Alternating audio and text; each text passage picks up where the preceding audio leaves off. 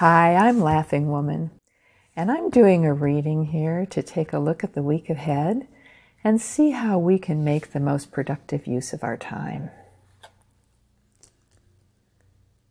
The first card is Five of Earth, Change.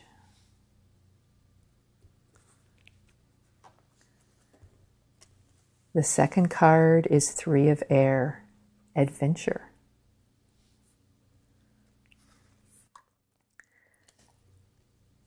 The third card is Major 10, Opportunity.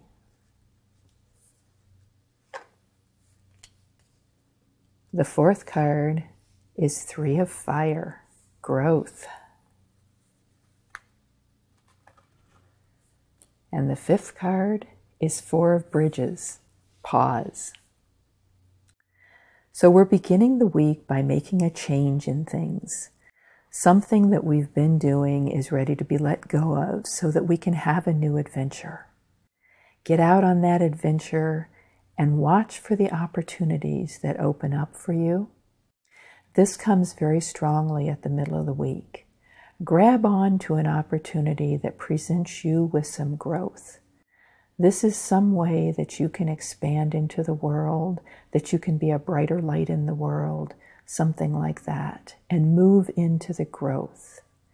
At the end of the week, we're going to take a little pause here. And what that tells me is that the growth needs to be set in motion. And then you need to recharge your energy and you need to allow whatever you've set in motion to move at its own pace for a while before you do more with it.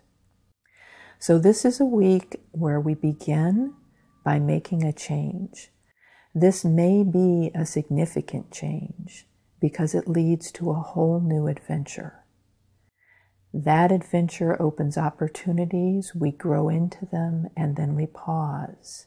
I want you to hear that cycle change, adventure, opportunity, growth, and pause. This is a very natural, human, earth based cycle.